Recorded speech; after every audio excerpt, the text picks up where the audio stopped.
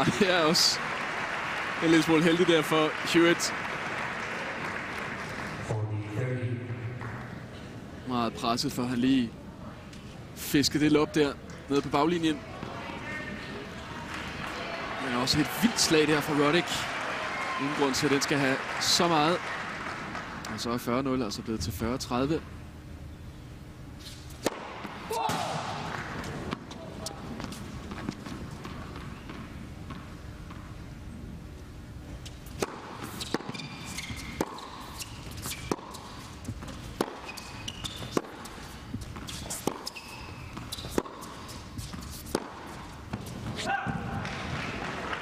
Han har slet ikke fundet sig til rette endnu, Roddick. Det lignede ellers et sikkert parti.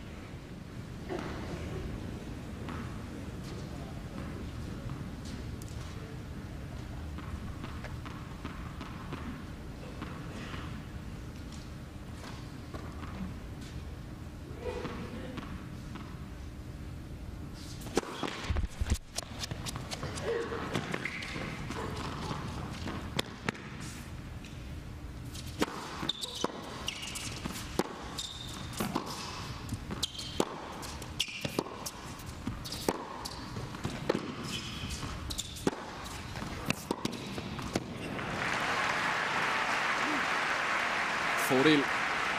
Andy Roddick.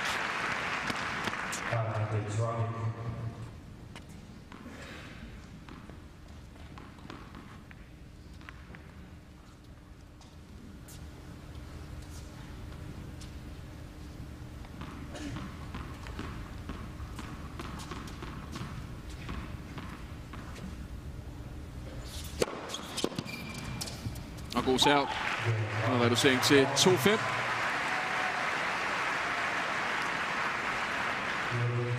Andy Roddick, der i øvrigt har med lavbud til næste uges store ATP World Tour 500 turnering i Dubai. Og det er faktisk af politiske årsager. Andy Roddick utilfreds med den behandling, den israelske tennisspiller Shahar Pierre har fået. Shahar Pierre, der altså blev nægtet indrejse til WTA-turneringen i Dubai. Roddick synes ikke, man skal blande politik og sport. Og så har han som en meldt afbud til den turnering, hvor han var forsvarende mester, Andy Roddick.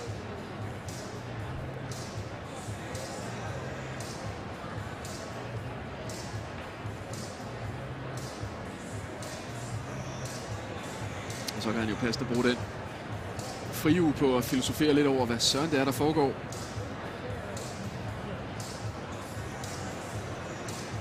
Der er absolut ingen tegn på, at han skal komme tilbage i den her kamp. Andy Roddick.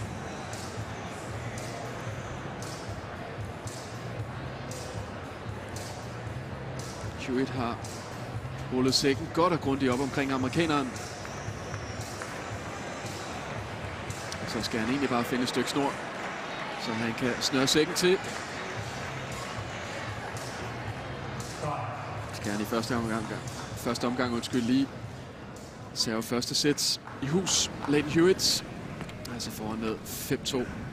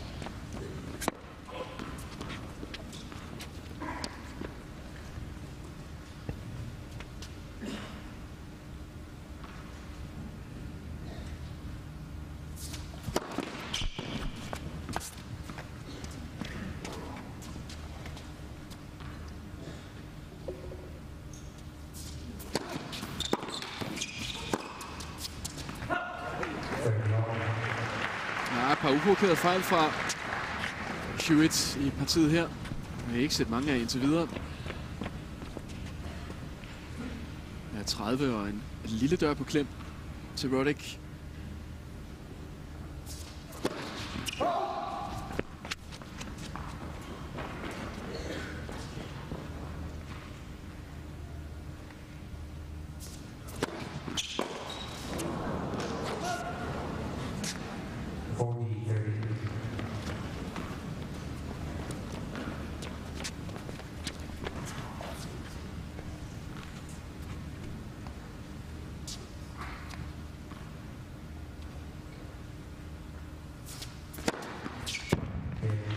Og med service nummer 4 lukker han første sæt. Leighton Hewitt lige over en halv time skulle han bruge 6-2.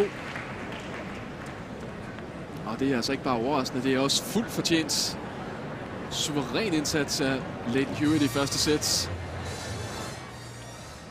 Og Andy Roddick nærmest ikke dukket op til kampen nu.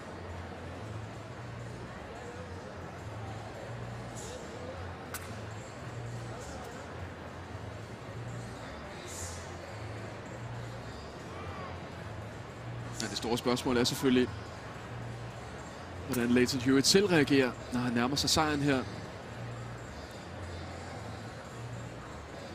Han er altså ikke for vane at vinde gennem de senere sæsoner, Leighton Hewitt. Det vil være en stor præstation for ham at spille sig i finalen her i Memphis.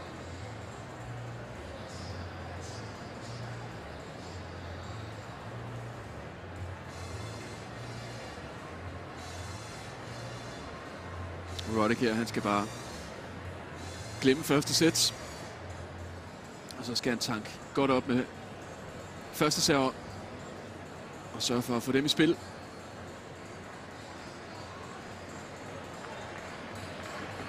Der er også et lidt rystet publikum her i Memphis. Jeg ved ikke rigtigt, om de skal være mest rystet, eller om de skal prøve at klappe lidt og få Roddick i gang.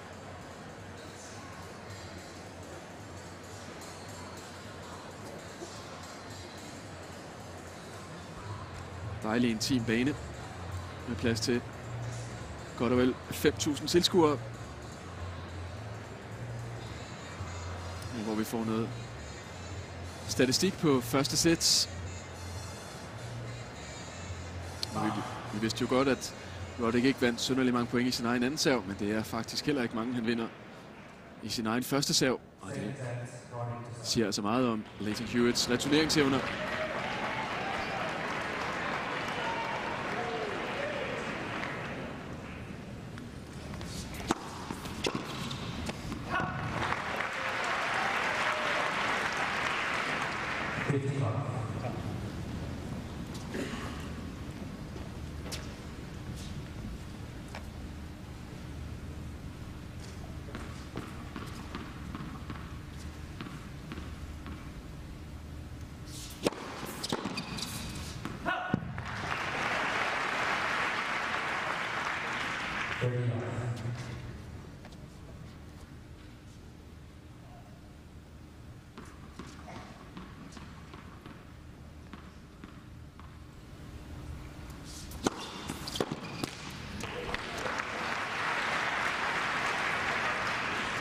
hurtigere.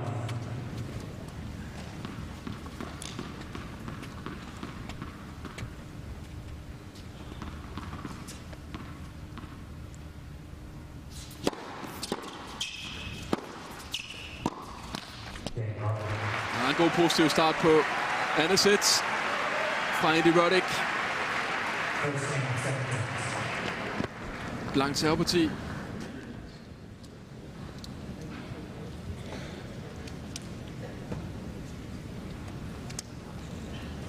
også lidt mere kul på tilskuerne.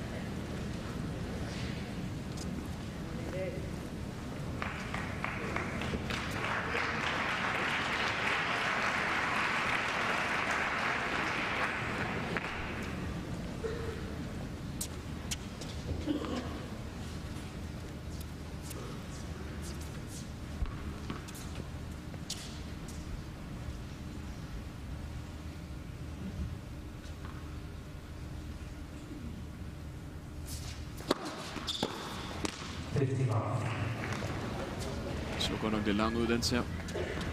Fra Lenny Hurts.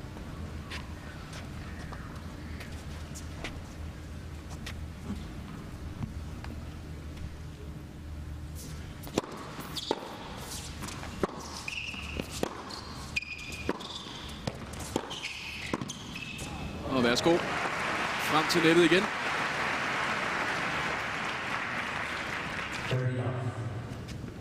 Helt klassisk bygget op af Hewitt.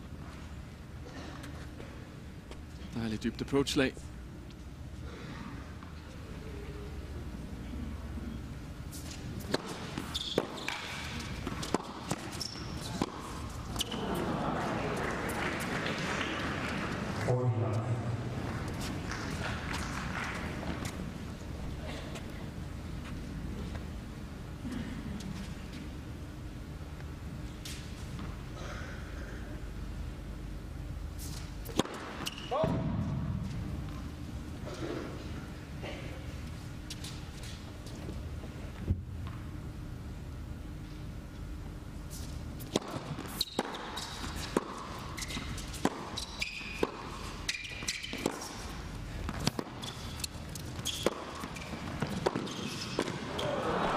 og så er det også svært.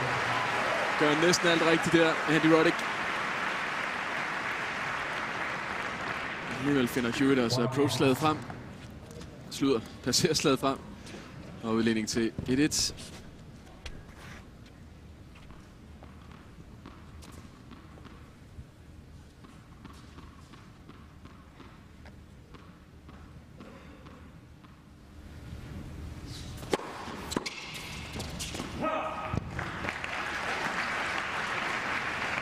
出ています。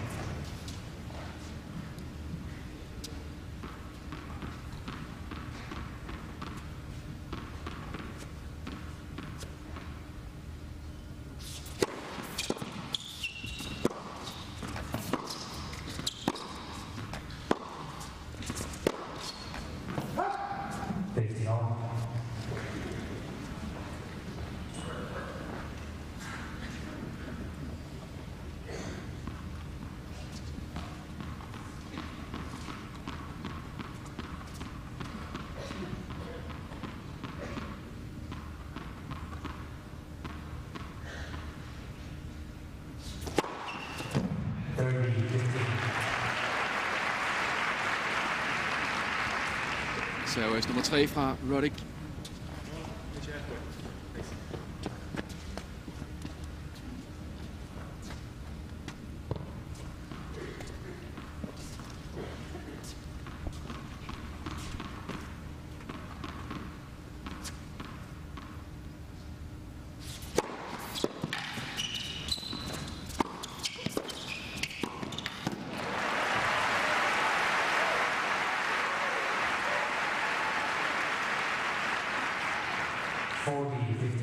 Han virker lidt mere konsekvent nu. Andy Roddick.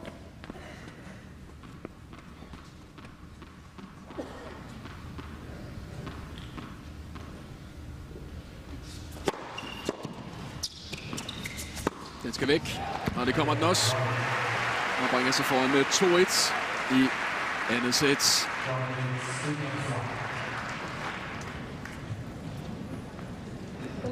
Der spilles to andre ATP-turneringer i den her uge. I Marseille spilles Open 13. Og der har spillet semifinaler tidligere i dag Jo Wilfred Songa slog topsidet Novak Djokovic i to sæt, 6-4, 7-6. Han kommer i finalen op imod sin landsmand, Michael Lodra. Lodra, der slog en anden franskmand, Gilles Simon, ligeledes i to sæt, 7-6, 6-2. Altså rens, rent fransk. Finale i Marseille i morgen. I Buenos Aires i Argentina bliver det et argentinsk spansk opgør. Tommy Robredo klar til finalen efter sejr over Jose Acasuso, og der kommer han op imod Juan Monaco, der lidt overraskende slog topsidet David Nalbandian. Nalbandian var ellers op med et sæt, den første sæt, men godt kommet igen af Juan Monaco. Der er altså to andet og tredje sæt.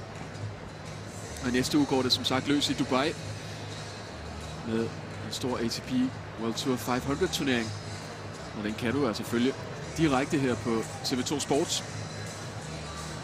Det bliver som sagt uden Andy Roddick, der har med lavbud, men masser af andre store navne med.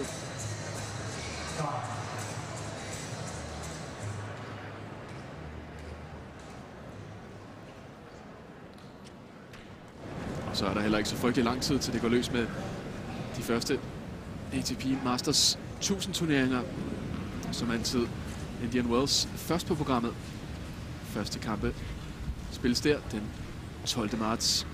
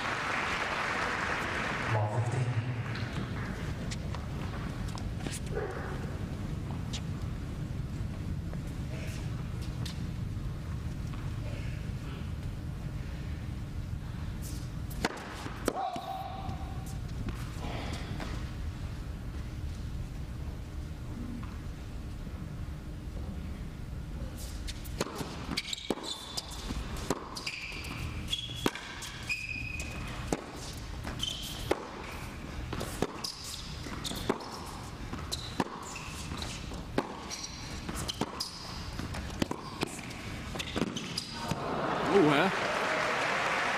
Det masse flugtninger, han misser.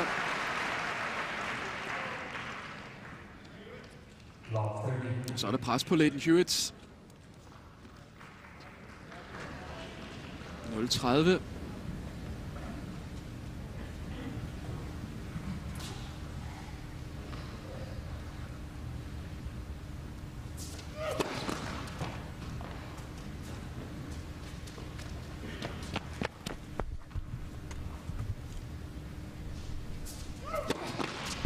Uha.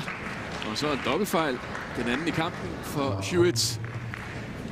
0-40 og tre breakbolde til Andy Roddick. Sådan mere eller mindre ud af det blå.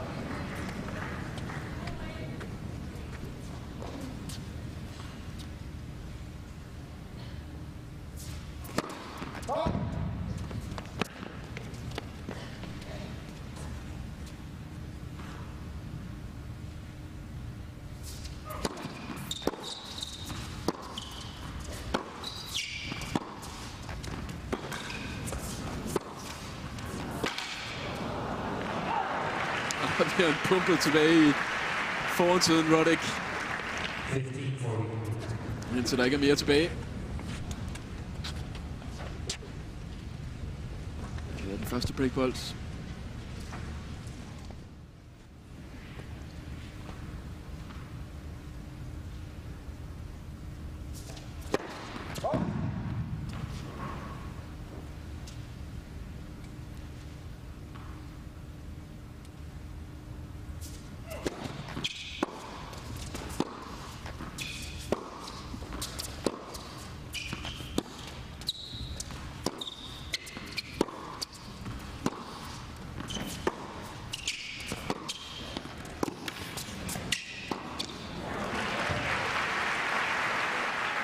Og også den anden. Leighton Hewitt. 30-40. Fortsat en enkelt break chance til Andy Roddick.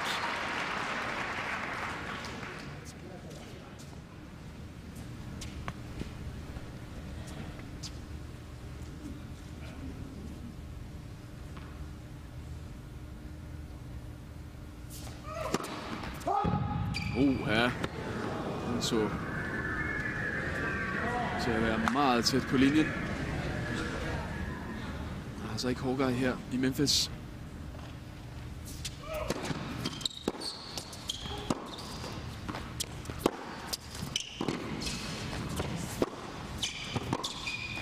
Ej, et dejligt passerslag på et super vigtigt tidspunkt for Leighton Hewitt. Er stadigvæk lidt utilfreds med, at serven ikke blev dømt god. Første serven. Sikkert slag at komme op med på det tidspunkt. Og fra 0,40 til A40.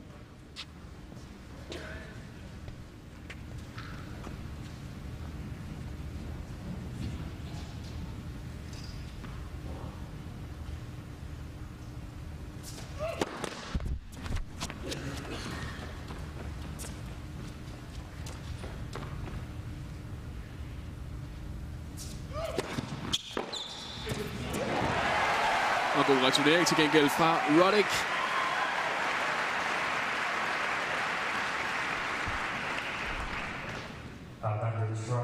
Ny breakchance til amerikaneren.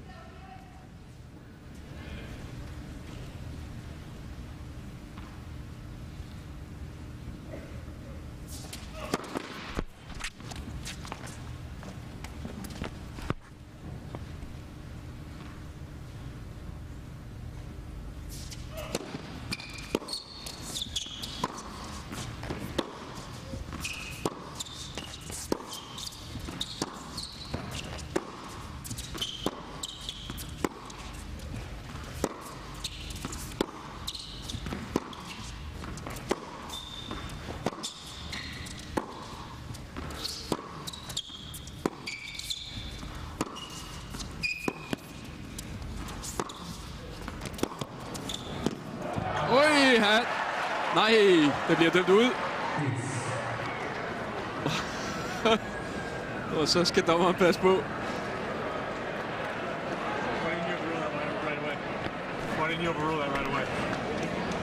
Så er der en erotic show igen. How much of a chance does he need?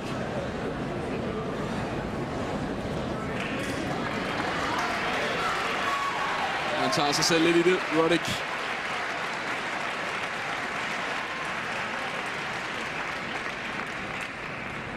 Går brugte han den bedste del af 5 minutter på at diskutere en dommerkendelse på et afgørende tidspunkt i kvartfinalen mod Sam Query. I dag bliver det altså bare til et par gloser. Utroligt tæt på break her til Roddick.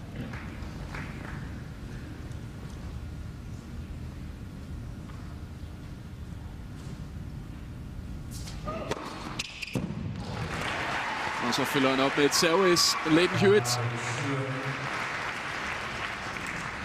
femte i kampen.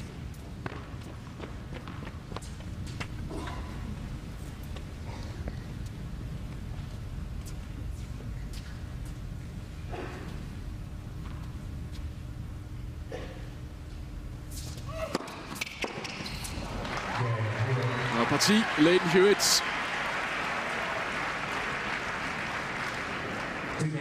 Udligner til A2.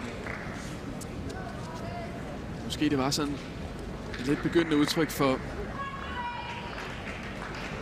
vindernaver fra Leighton Hewitt, det her parti. Det var fuldstændig unødvendigt, at han skulle ned med 0-40.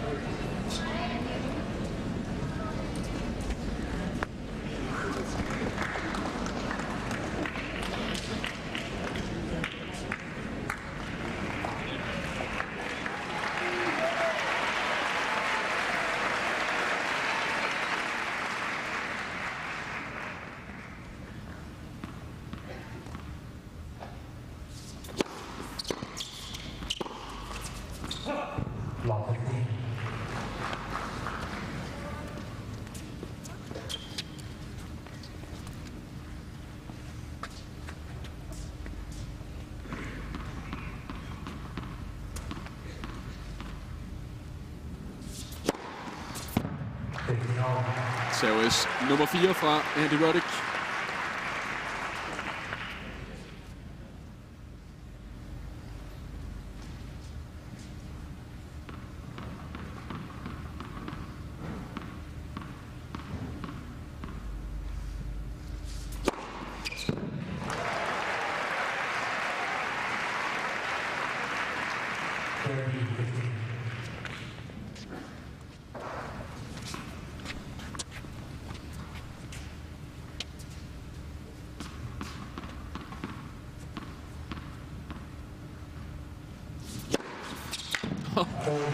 Og tre i træk.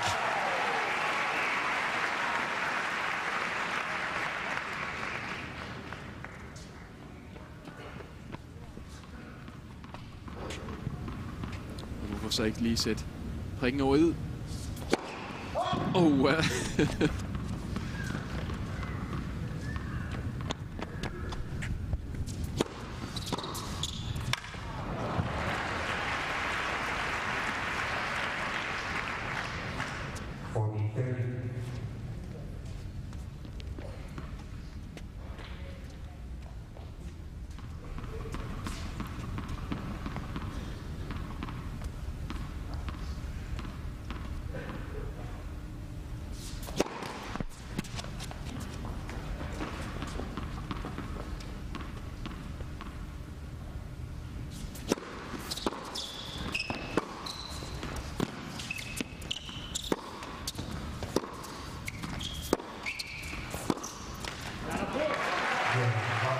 Parti Andy Roddick bringer sig foran med 3-2 i andet sæt.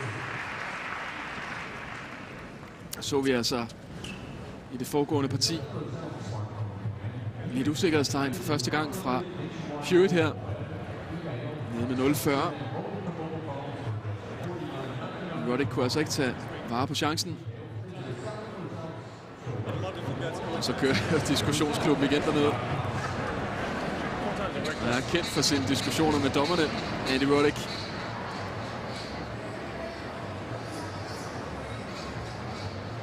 Som tidligere nævnt var han altså godt på vej til at sende Fergus Murphy en tur ned til optikeren i går.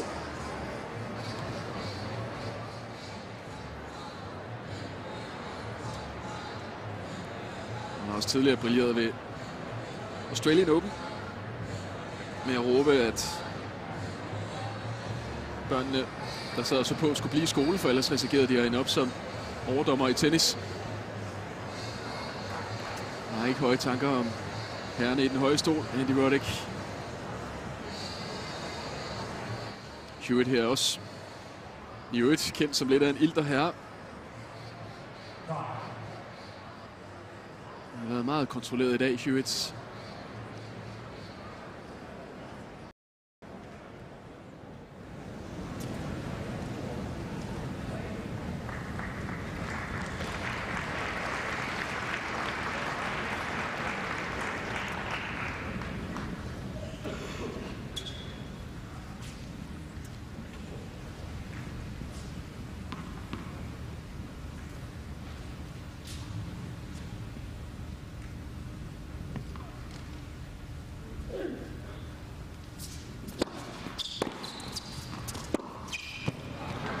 Hvor er det godt.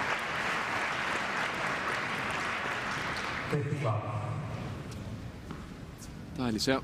Godt fuldt op. Han lagde den Hewitt.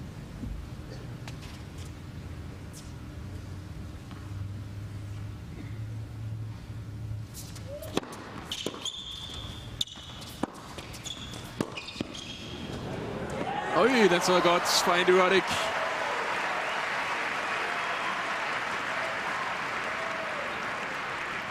Følger ellers recepten igen. Hewitt, god serv. Godt fuldt op. Men så har Roddy altså lige et lobby med.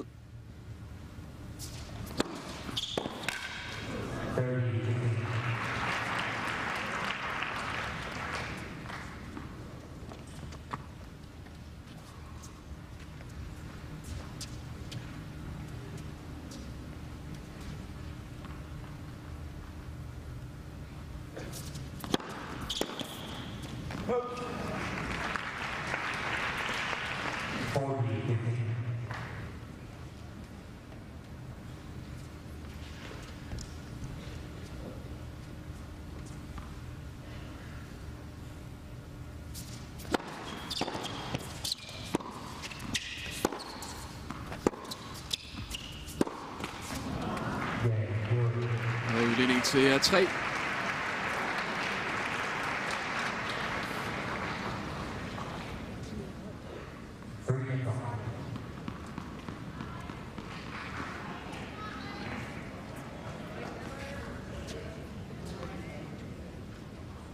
fået lidt bedre fat omkring første serve, Roddick. Betydeligt mere lige andet sæt.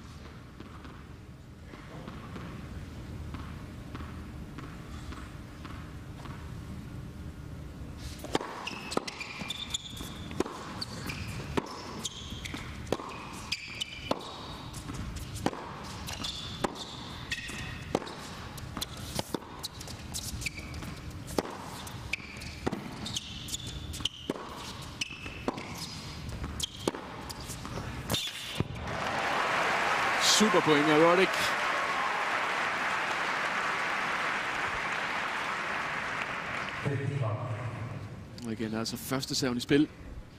Utrolig vigtig for Roddick. Giver ham momentum i hele duellen.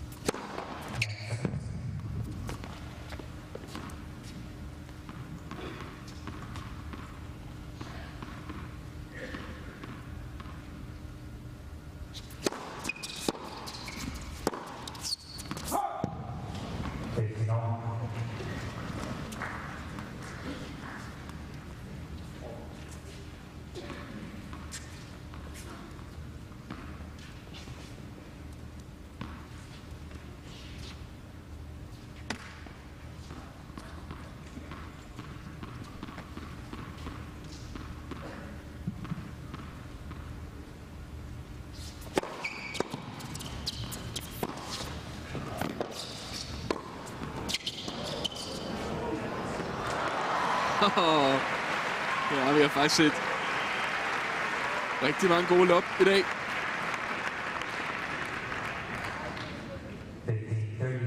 Det er altså ikke usædvanligt for Leighton Hewitt.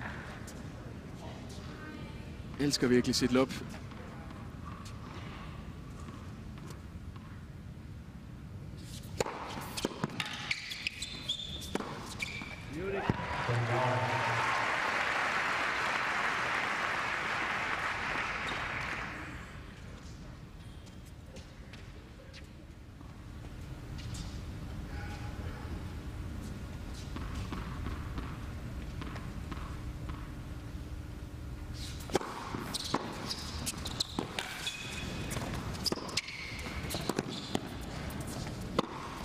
Oj, ja. Den er han heller ikke glad for. Leighton Hewitts kæmpe chance til at komme op med et breakpoint. Ellers en forrygende returnering, han får sat der, Hewitt. Og det smash, det skal bare væk.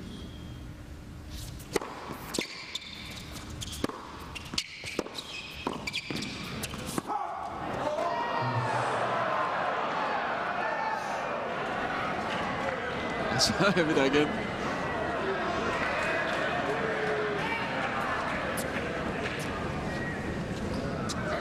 Gang i diskussionsklubben hos Andy Roddick.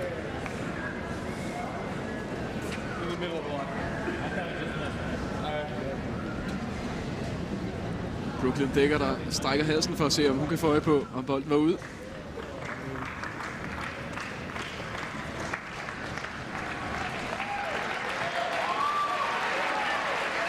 Må det arrangørerne her i Memphis bør overveje at investere i et Hawkeye-system til næste år.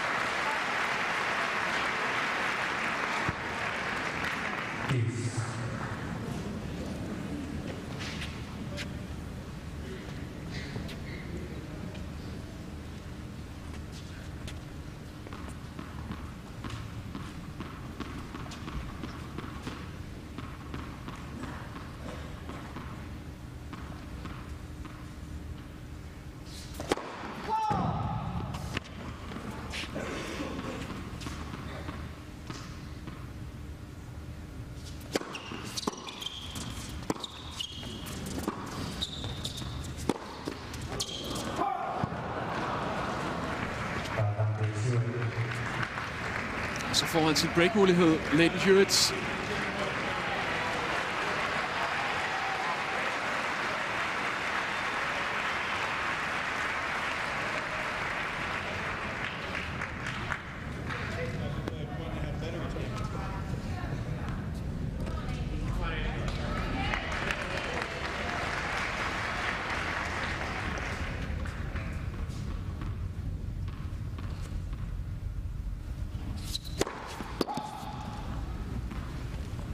Får til at arbejde med.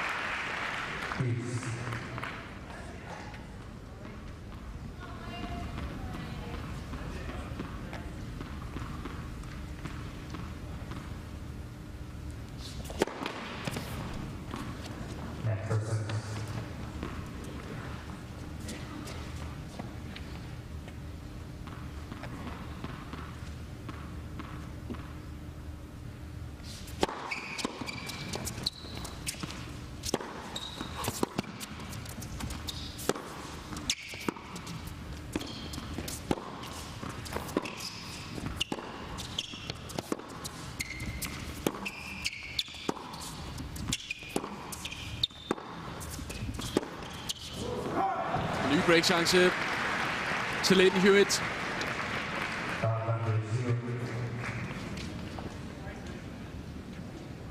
Meget kritisk parti, det her. For Roddick.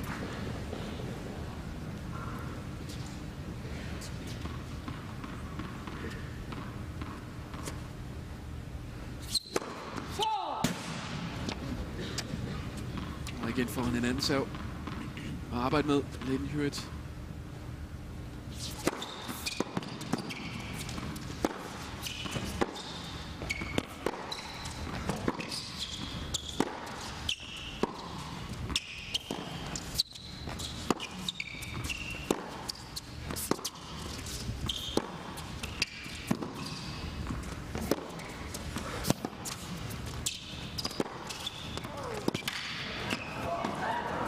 Oj, ja. Der har han ellers ikke uheldig Hewitt.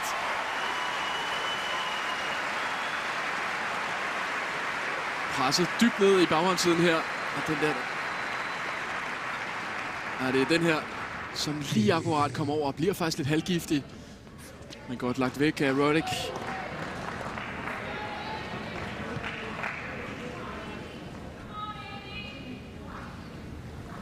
Tilbage ved lige.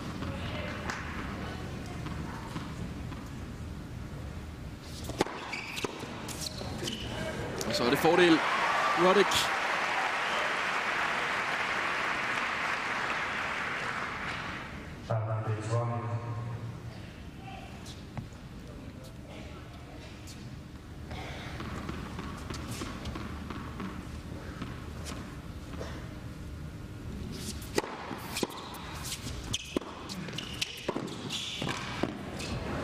Og så foran partiet. Andy Roddick bringer sig foran med 4-3 i andet sæt med møje og besvær. Og jeg fornemmede lidt, at det næsten risikerede at være kampen, hvis han blev brudt der. Andy Roddick. Uha, uha. Den topseedede hænger i med det yderste af neglene her. Og senere i nat skal den topseedede i aktion. I damesækkel det er sådan, at WTA-turen også er i Memphis i den her uge. Og det er jo vores egen Karoline Wozniacki, der er topseedet i turneringen, spiller finale mod ansigtet Victoria Azarenka. Det er klokken to i nat. De to tørner sammen. Kamp, vi desværre ikke har mulighed for at sende. Og umiddelbart efter singlefinalen, ja, så skal de to topseedede i aktion i dobbeltfinalen sammen. Karoline Wozniacki spiller dobbelt sammen med Victoria Azarenka her øh, i Memphis. Op imod Fedak og Krajcek. En rigtig stærk turnering, hun har spillet herovre. Karoline. Og i det hele taget en turnering med store danske traditioner. Tine Schøjer Larsen har også været i dobbeltfinalen for nogle år tilbage. Og Kenneth Carlsen har vundet turneringen her i herresingle tilbage i 2005. Og slog Max Mirny i finalen.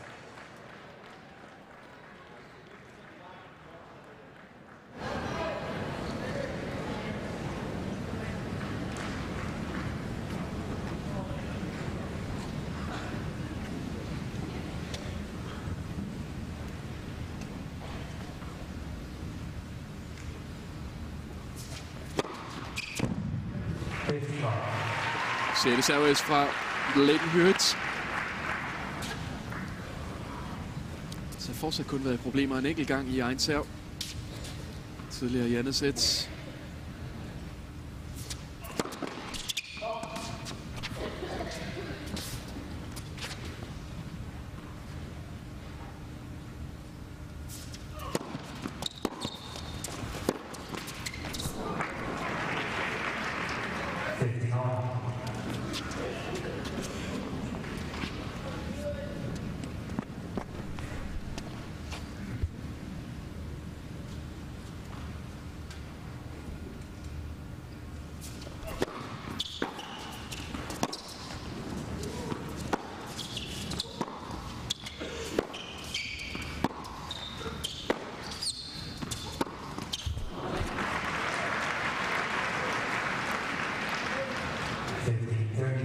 Pludselig lidt under pres igen. Hewitt.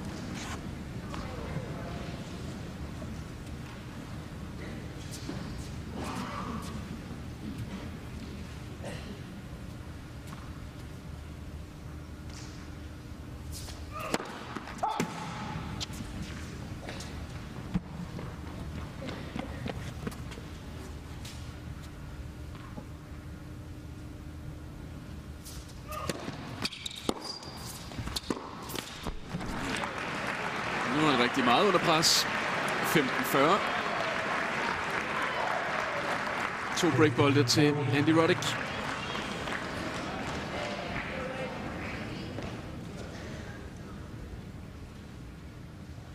Altså fire tidligere i andet sæt, som han brændte.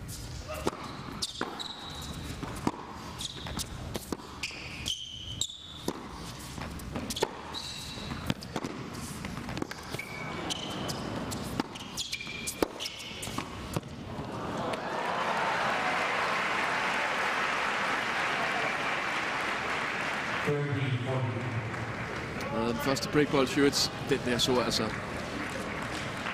meget dyb ud fra Hewitt.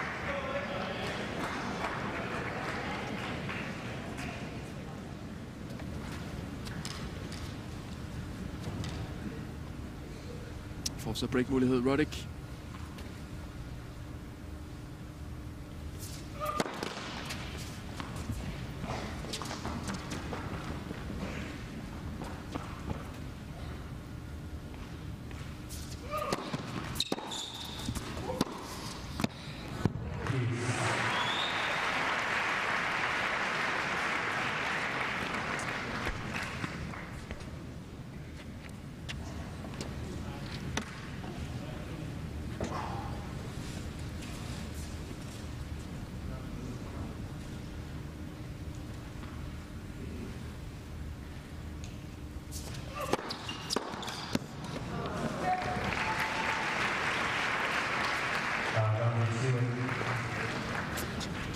Han ligner altså ikke en mand, der har været væk fra verdenstoppen i et par år. Leighton Hewitt iskold her, også under pres.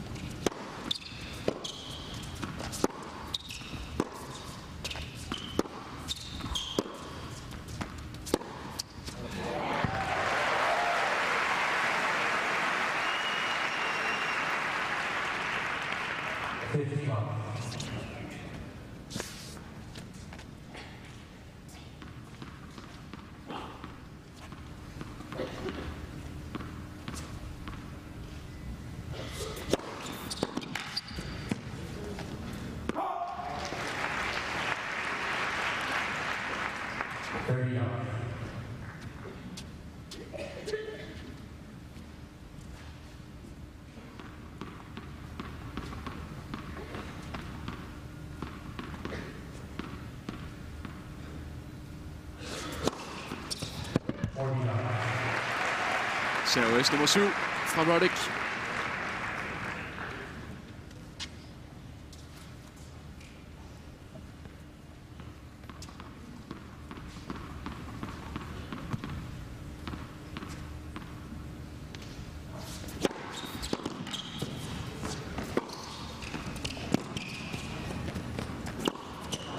Det er altså godt fisket ind af Leighton Hewitt.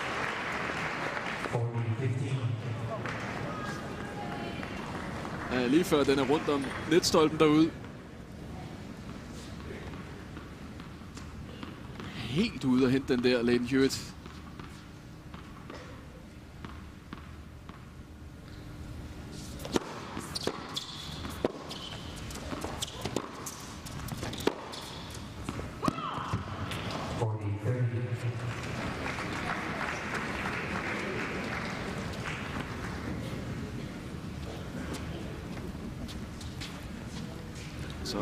Altså blevet til 40-30 for Andy Roddick.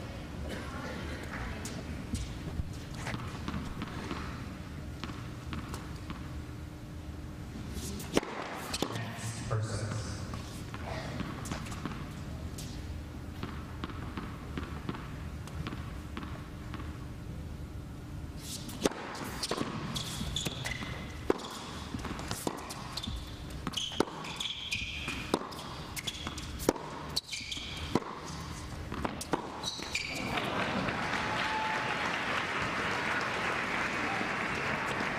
Peace. Four balls over here and none over here. Så er han igen ved at åbne døren for Leighton Hewitt. Andy Roddick.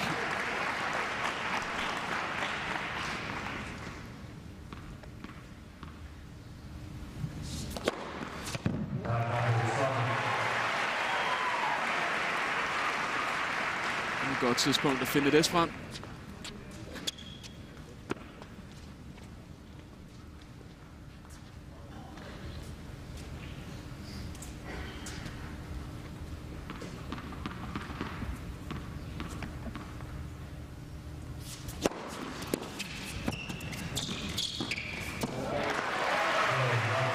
5-4 til Andy Roddick. Meget lige andet sæt.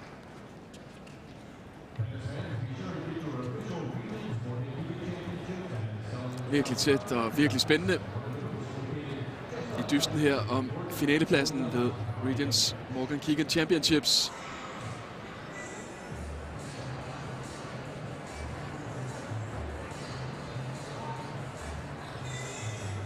Det er altså ikke kun for Leighton Hewitt, at det vil være utrolig vigtigt at få en turneringssejr. Men det gør det her. Der er altså også en lang række af tabte semifinaler og finaler bag sig. Det er svært i de afgørende kampe tit. Andy Roddick er topseedet i turneringen her. Roddick han, han har kalkuleret med, at den her turnering bør give en turneringssejr til samlingen. Så læset efter anden sidet Juan Martin Del Potro røg ud i kvartfinalen.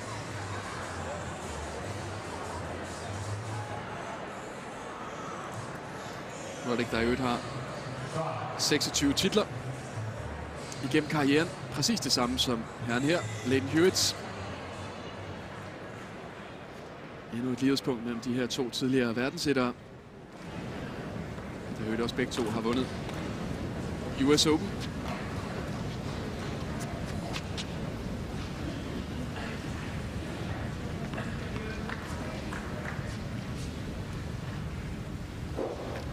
Nathan Hewitt server bagud med 4-5 i andet sæt.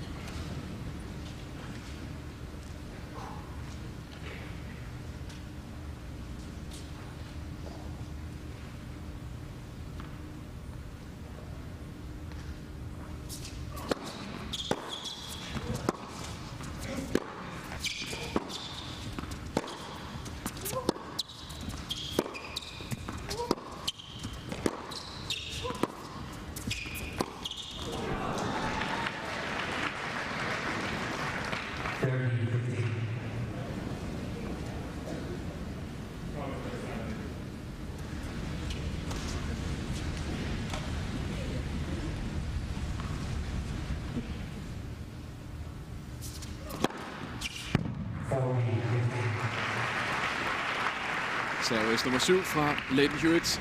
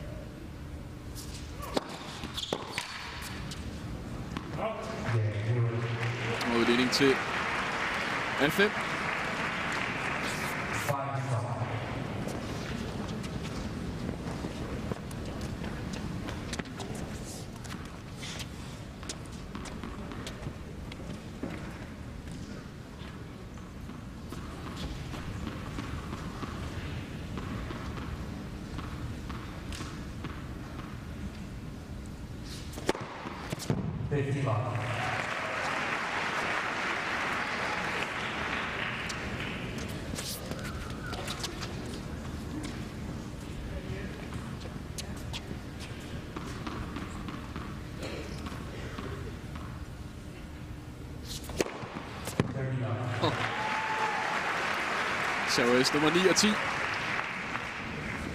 Giver 30-0.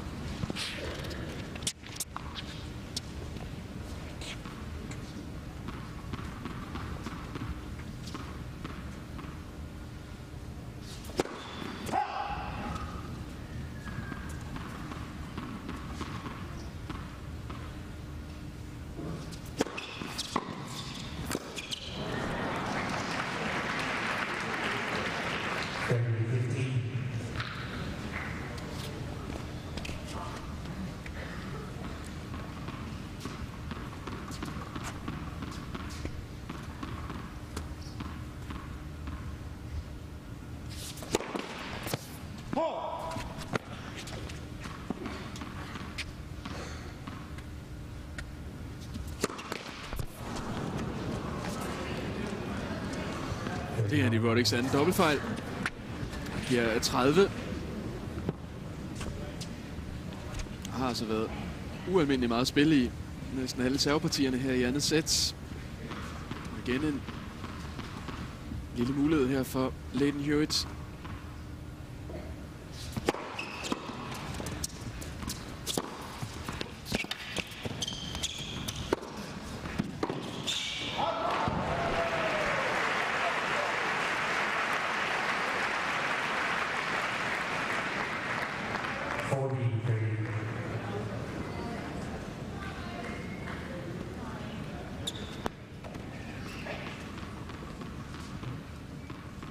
Ja, næsten fuld spagat.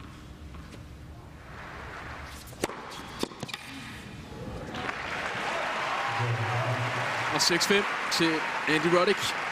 Og så er han i hvert fald sikker på En tiebreak her i andet sæt. 6 and 2 five. Den topseedede amerikaner.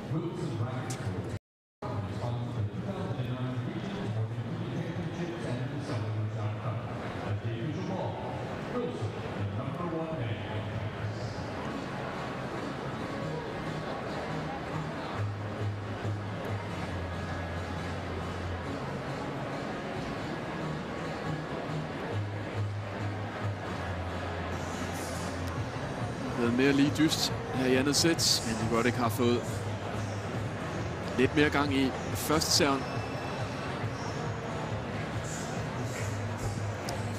Nathan Hewitt måske også faldet en lille smule fra det høje niveau, han havde i første sæt.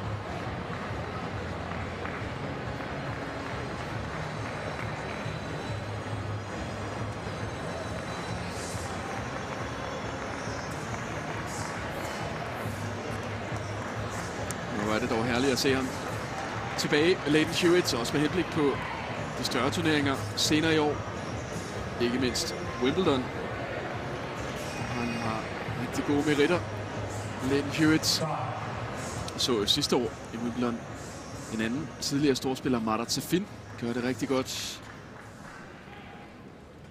Det kunne være spændende at få Hewitt sådan mere permanent tilbage til verdenseliten. Mange som sidder herinde. Plads til 5.000 tilskuere. Stadium Court i Memphis.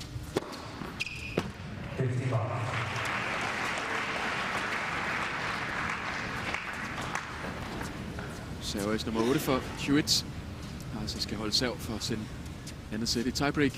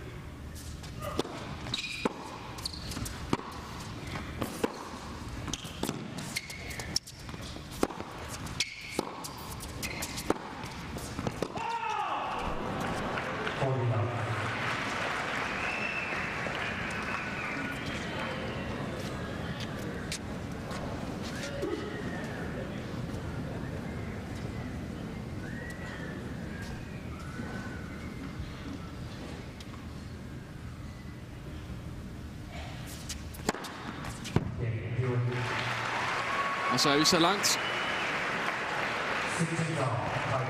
Parti Leighton Hewitt. Dermed udligning til A6. Og så skal vi have andet sæt afgjort i en tiebreak. Meget svært at vurdere, hvem der står stærkest lige nu. Har været meget lige andet sæt. Men det gør det ikke får lov til at lægge ud med at serve.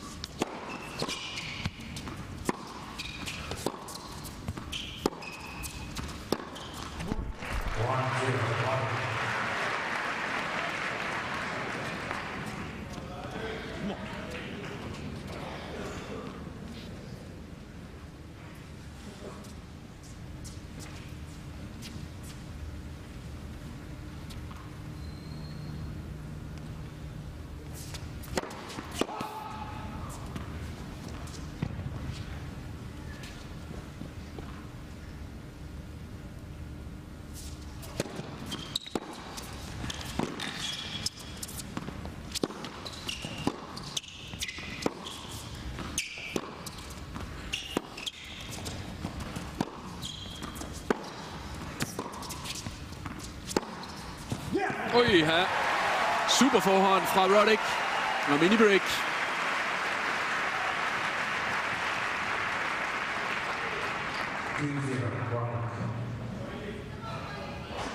Kommer også noget lyd på der fra Roddick.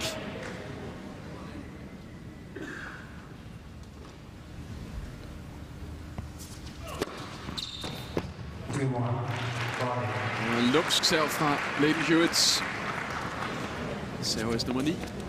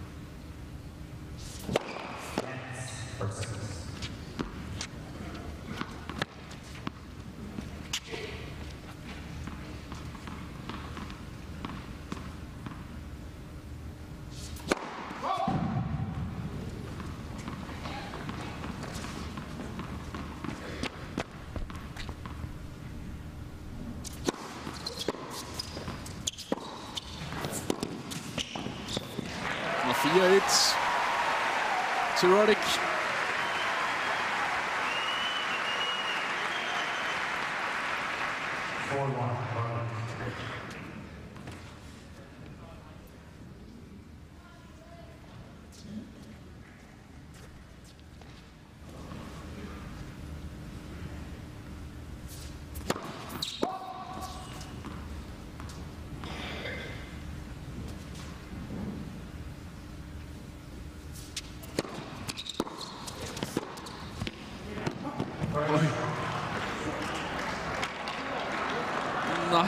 Nej, nej, nej, nej, nej.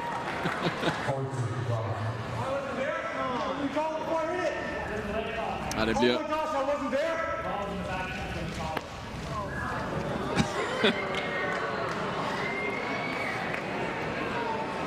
Ja, han skal ikke have mange chancer for at sætte gang i snakken. Andy Roddick. Jeg var sådan et stykke ude. Jeg så det selv, siger han. Bliver altså også dømt ude af linjedommeren, men overrulet af overdommeren.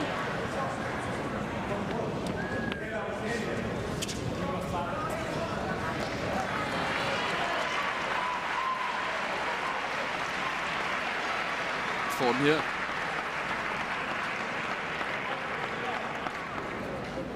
Og den ser nu ud til at være klart god.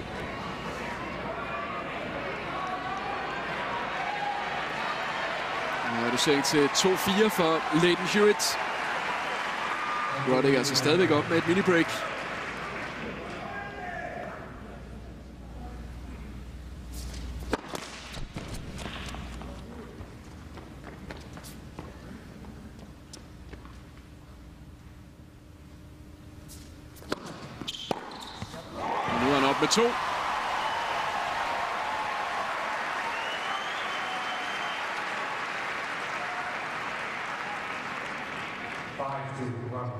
godt læst af Andy Roddick. Han er så foran med 5-2. Og nu selv to server Andy Roddick. Kan altså serve andet sæt hjem.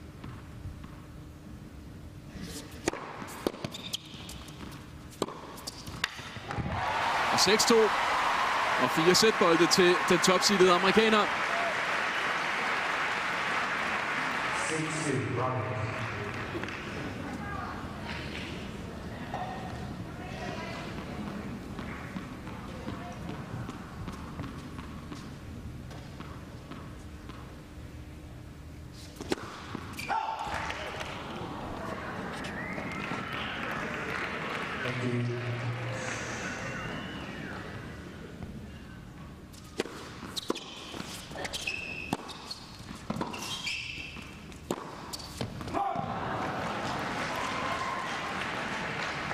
Så den første Roddick.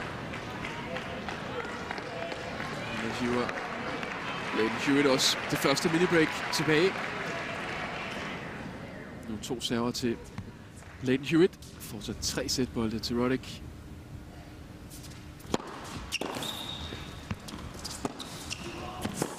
Nu har han kun to sæt bolde tilbage.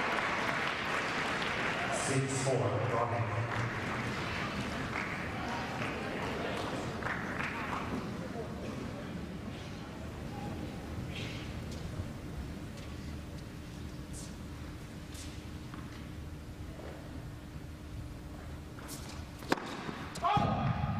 Ui, ja. Så godt nok ud, som om den to linjen.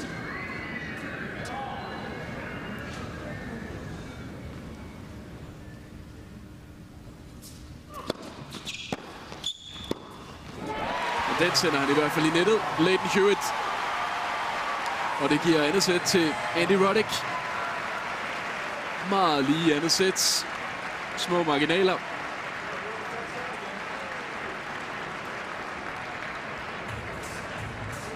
Masser af spil i de fleste servepartier.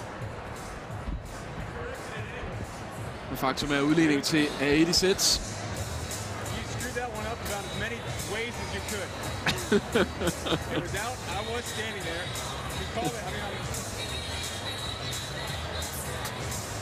Den ødelagde du på alle de måder, du kunne, siger Andy Roddick til dommeren. Jeg stod lige der og så, at den var klart ud.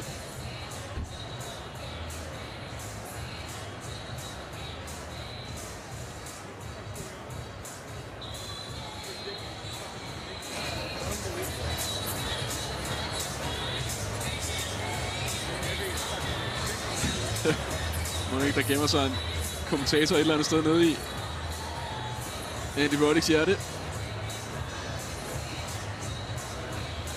Jeg har så lige endnu et blik af Roddick Lion. Træner Larry Stefanki. Og forlovet Brooklyn Decker. De kan altså glæde sig over, at Roddick nu er helt tilbage i kampen her.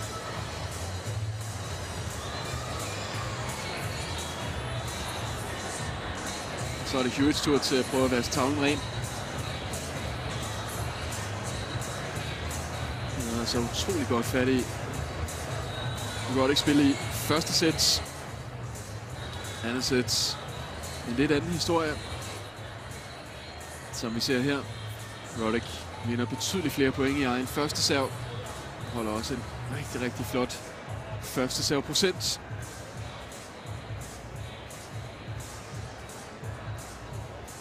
Andet sæt, der varede præcis en time. Og det betyder, at vi nu sammenlagt har spillet lige godt og vel halvanden time.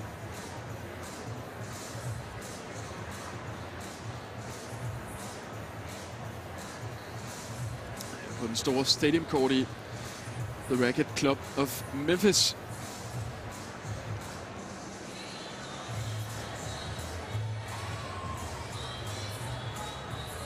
Hvor vi lister over med de resterende ATP World Tour 500 turneringer. Altså Dubai i næste uge, som du kan se direkte her på TV2 Sports. Og så går det ellers lystigt derudad med Barcelona, Hamburg, Washington, Beijing, Tokyo, Basel og Valencia. Sidste uge var den første turnering i 500-serien i Rotterdam, hvor Andy Murray vandt finalesejr over Rafael Nadal. Kamp, hvor Nadal blev skadet undervejs. 500-serien altså 500 point til vinderen. 300 til den tabende finalist. Det er den næststørste turnering på ATP-niveau. ATP Masters 1000-serien er den største, og henover det ligger selvfølgelig de fire Grand Slam-turneringer, som ikke arrangeres af ATP.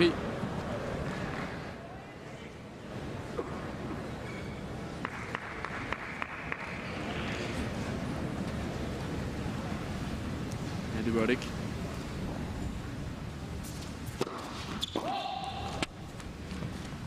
Modtager serv.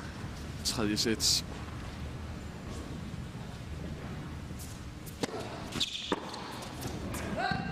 Fifty-five.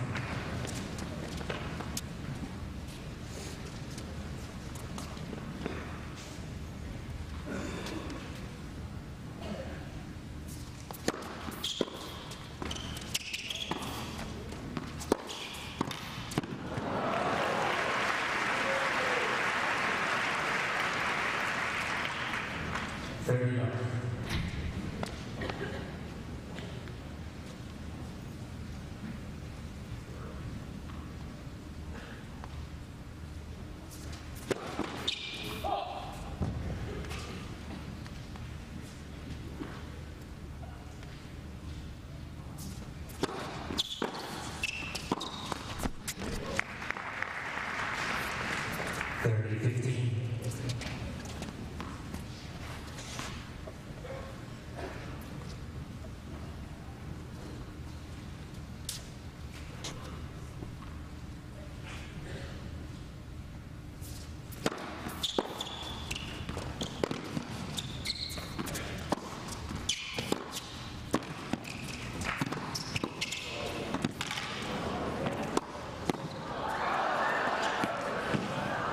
Har en super duel.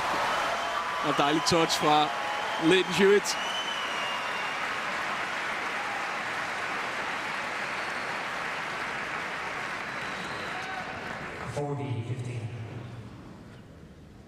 Der går lidt badminton i den.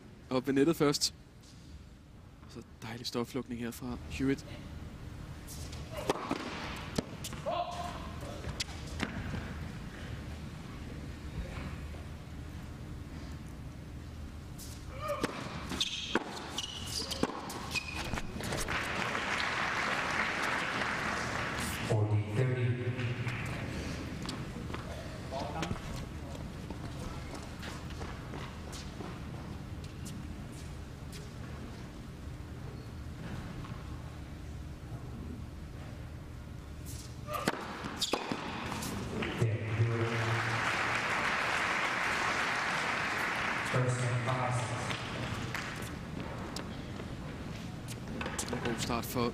I øvrigt på tredje sæt.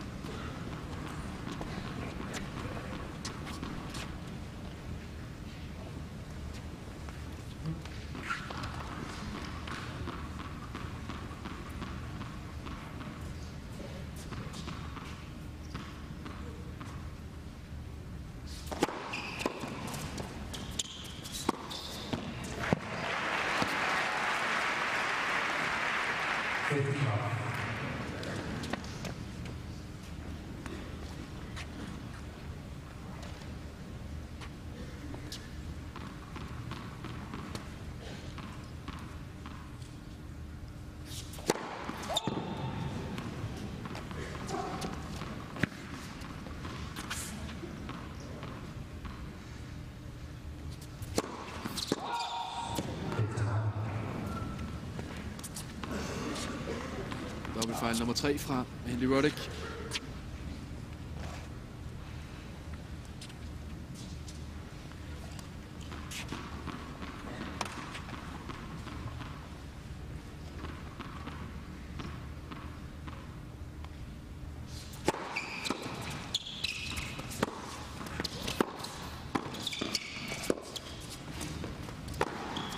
Øj, det er godt. Andy Roddick. Er altså ikke noget let smash. Han er nødt til at padle lidt tilbage.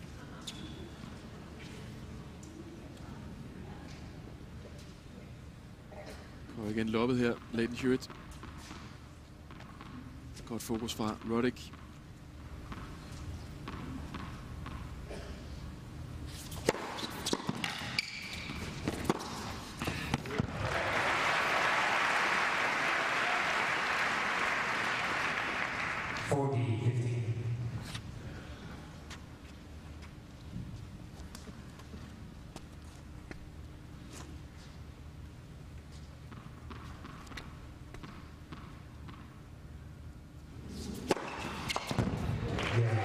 Rigtig godt parti fra Andy Roddick.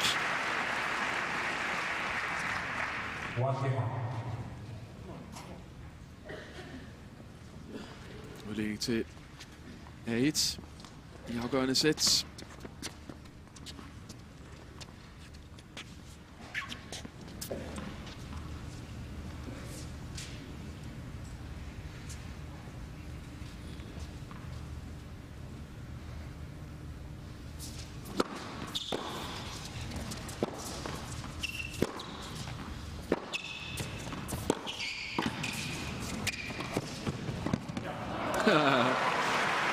Weltmeister Leighton Hewitt.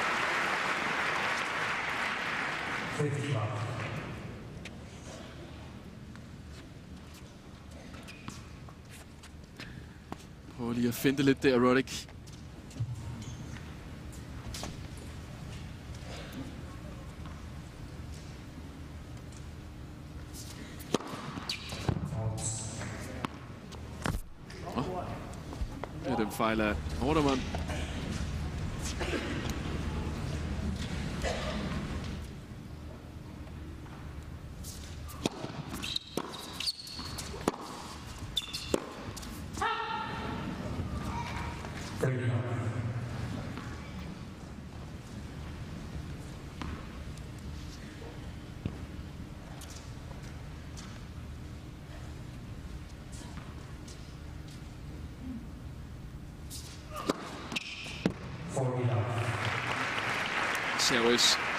Nummer 10 fra Lady Hewitt.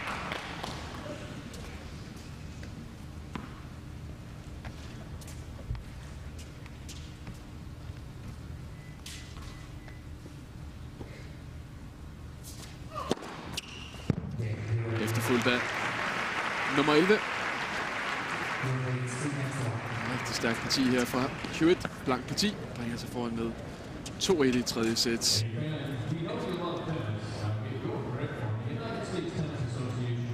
Og vi er i hvert fald ikke blevet skuffet af opgøret her mellem de to tidligere verdenssættere. Det en helt igennem forrygende kamp.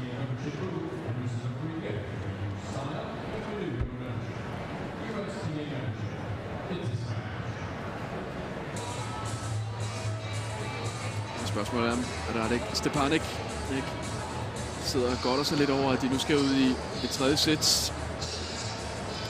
Suger kræfter ud af hinanden, de to her inden finalen i morgen. Stepanik, der altså kun var på banen i under en time i SIG semifinale mod Dudi Seland.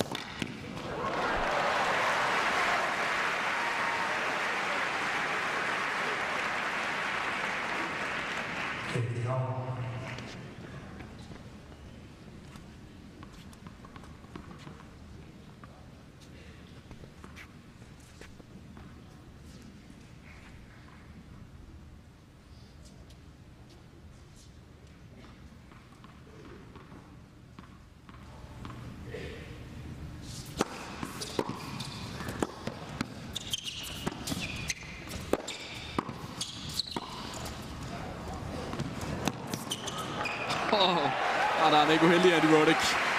Det er faktisk en pivgiftig returnering. Nathan Hewitt får sat der.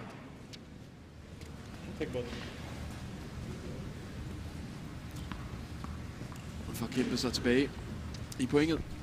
30-15.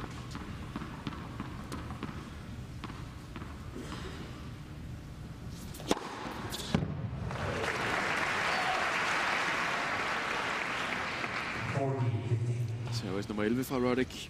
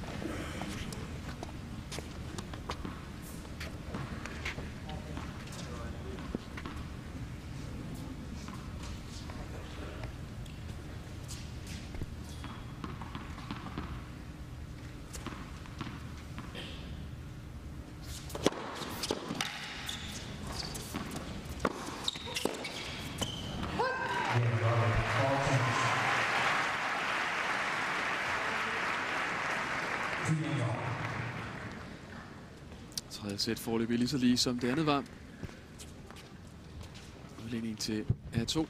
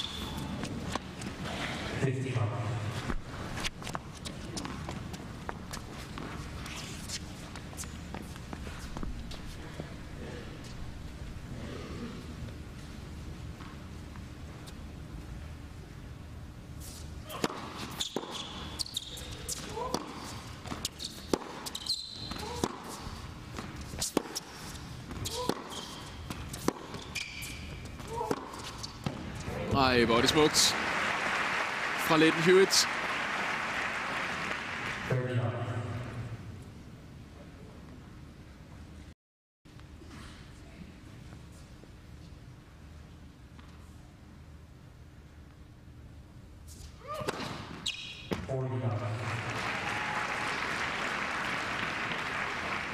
Thirty Service nummer 12. Så fører han med en i den statistik. Leighton Hewitt.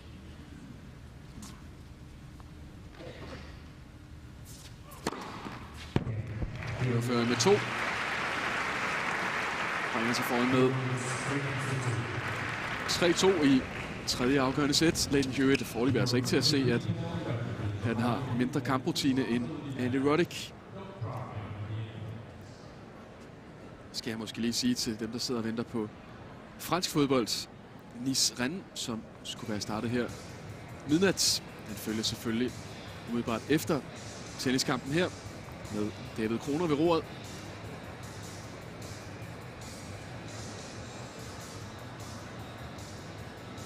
Og udover finalen ved turneringen her i Memphis direkte, så har vi også masser af direkte Champions League håndbold til jer i morgen her på TV2 Sport. Kampen mellem Flensburg Handewitz og Real Ademar. Og efterfølgende THV Kiel mod Ciudad Real. Så har vi også en lækkerbisken fra den tyske Bundesliga i fodbold. Bayer Leverkusen mod Hamburger Sportsverein. Og Michael Gravgaard har spillet sig op efter en lidt sløj start på sin nye karriere i det tyske.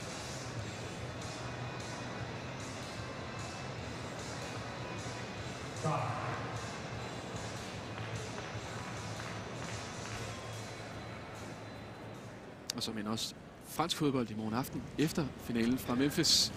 Lille mod Monaco. Men forløbet skal vi altså lige have fundet den anden finalist her ved Regents Morgan Keegan Championship. Fortsat meget lige mellem Roddick og Hewitt. Roddick server bagud med 2-3 i tredje sæt.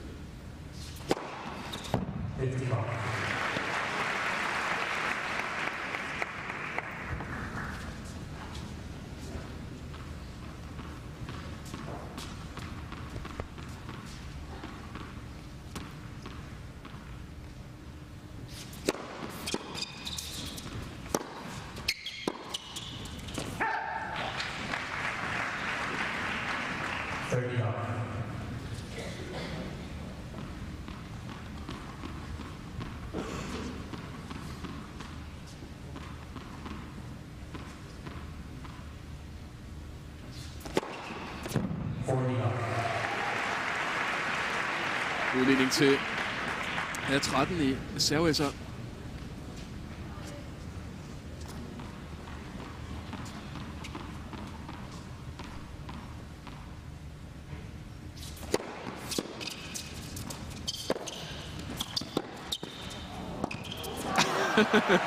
Og den får han lige fisket over, Roddick.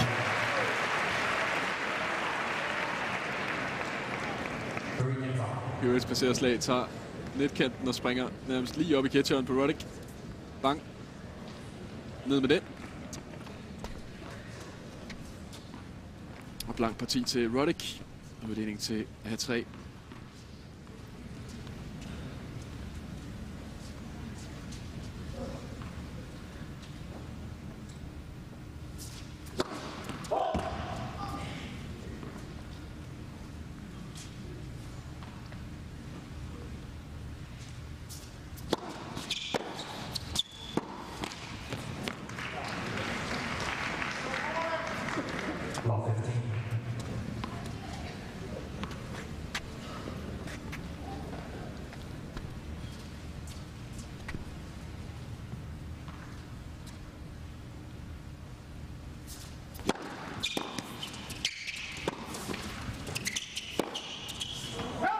ja, den får lige akkurat for meget. For Roddick.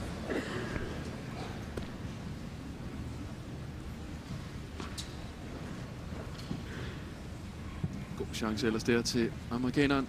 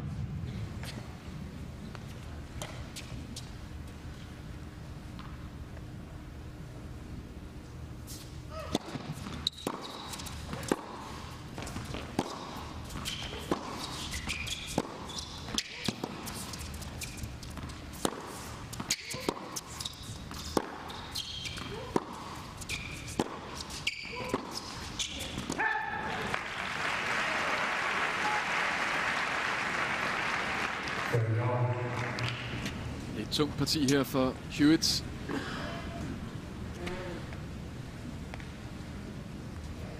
Er 30.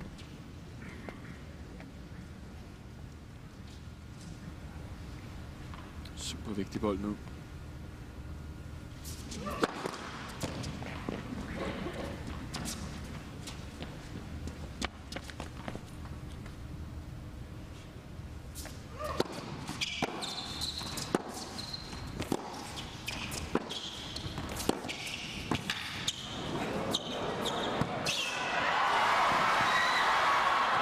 Øj, her er en super duel på det her tidspunkt af kampen. Fantastisk fisket over af Andy Roddick.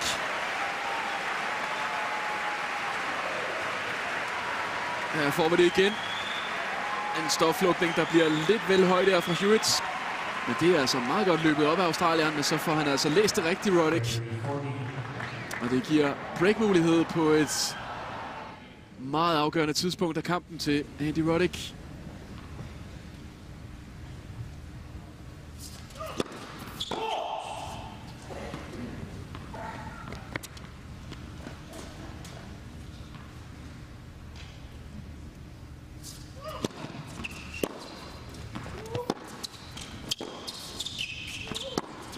Ej, og en krydset baghånd fra Hewitt.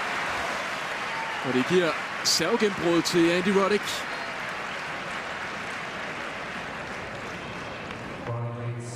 Og det kunne meget vel være det afgørende punkt i kampen.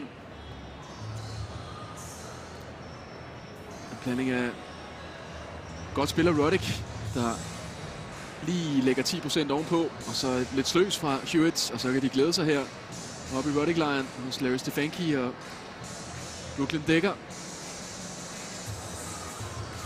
Skal han altså bare holde sav herfra, Eddie Roddick, så er han i finalen i Memphis.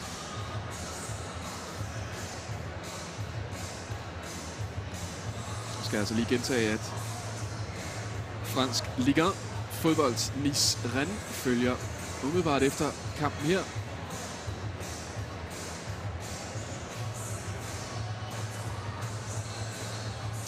Fodbold, så tabte FC Barcelona tidligere i dag for første gang i 23 kampe. Og det kan du gå ind og læse meget mere om på vores hjemmeside tv2sport.dk.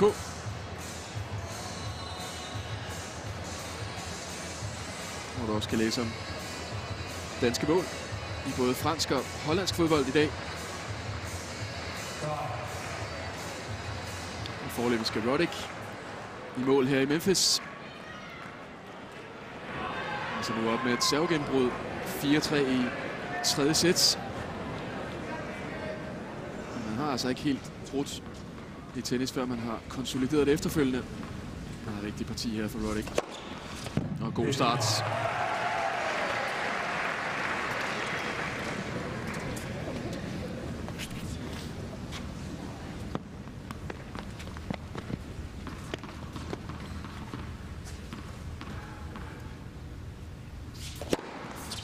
Øj. Det er altså iskoldt.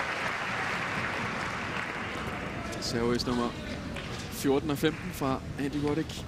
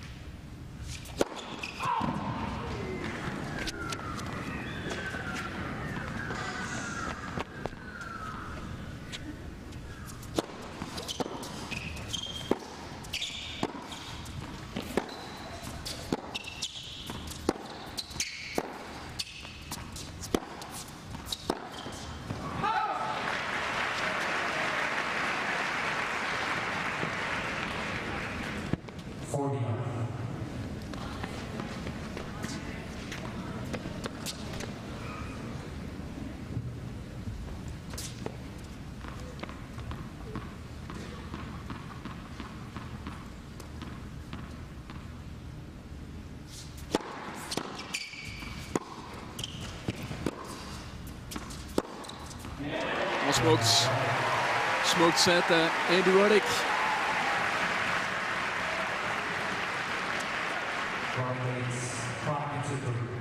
Bringer sig foran med 5-3. Og nu altså bare et enkelt parti fra finalen. Mod Radek Stepanik.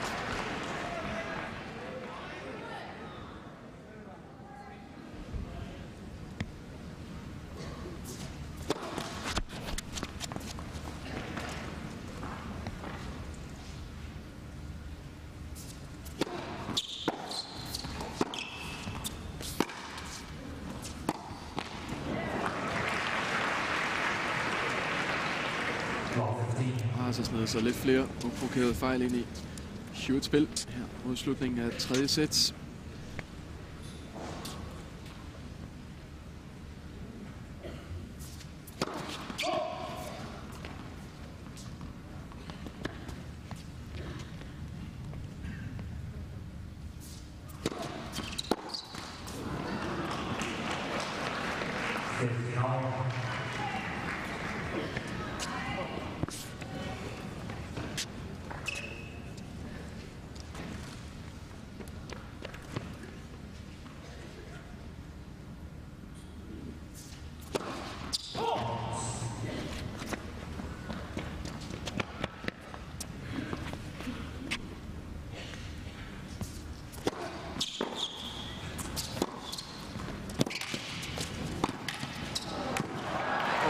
Godt flugtet af Hewitt.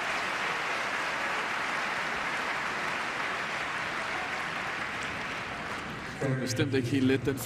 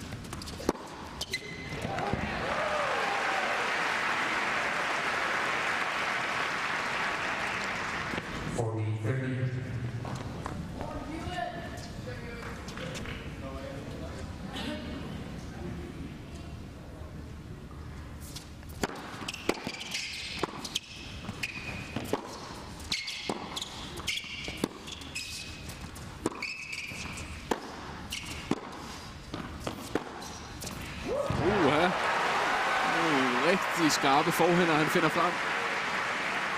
I øjeblikket Andy Roddick.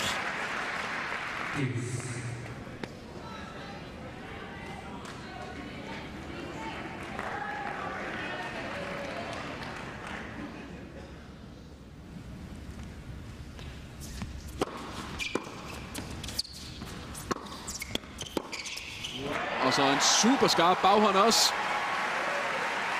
Passerer slag ned ad linjen fra Andy Roddick. Og det giver ham fordel, breakmulighed og matchbold. Her efter godt og vel to timer og 5 minutters forrygende tennis.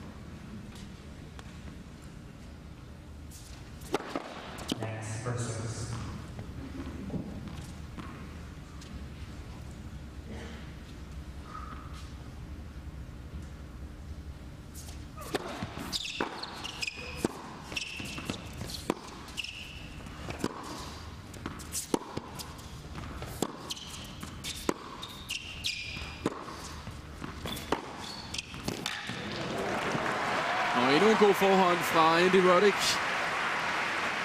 Ny matchbold til den topseedede amerikaner.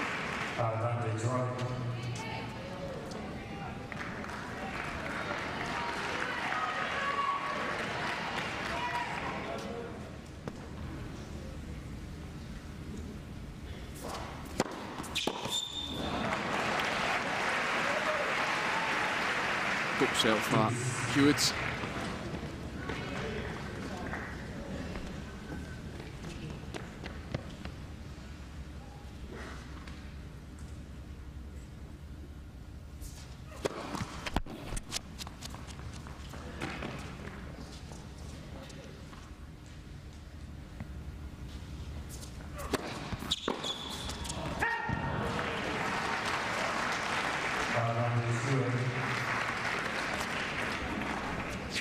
Stedet fordel Schwitz.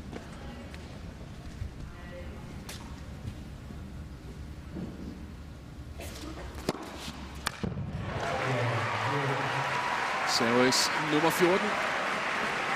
Reducering til 4-5.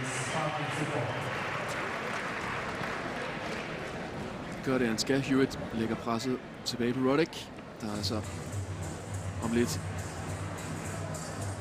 kan serve for kampen og for en plads i finalen mod Radek Stepanek i morgen.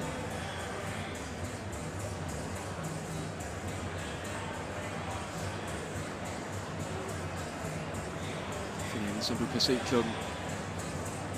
21.00 direkte her på TV2 Sports.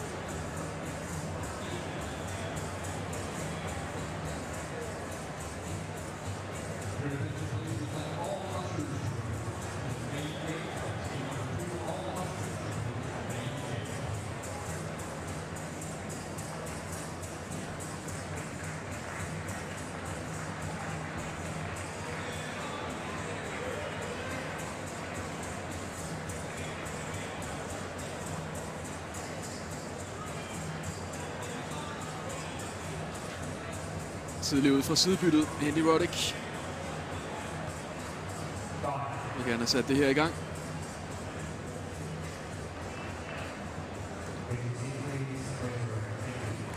Efter to timer og 8 minutters rigtig god tennis her i Memphis, kan Andy Roddick altså nu save sejren hjem og save sig i finalen. Norwegians Morgan Keegan Championships foran med 5-4 i tredje sæt.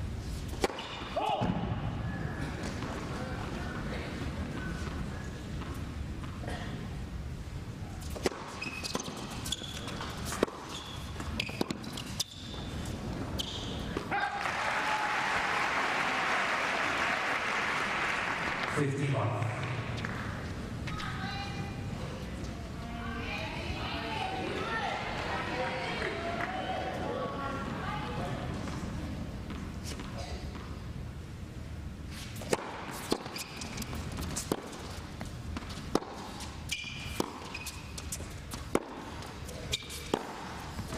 Øj, den sidder godt.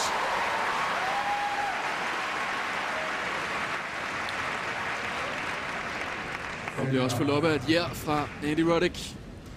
30-0.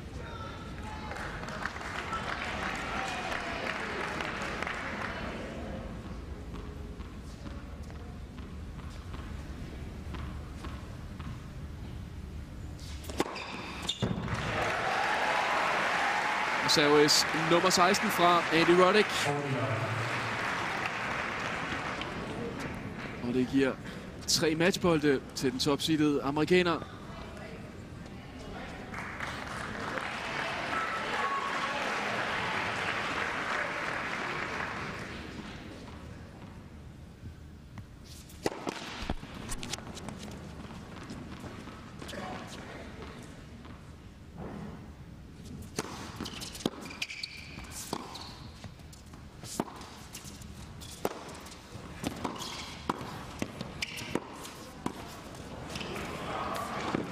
Og det kan ikke løbe op. Leighton Hewitt, Andy Roddick er klar til finalen ved Regents Morgan Keegan Championships efter en lang og sej dyst med Leighton Hewitt.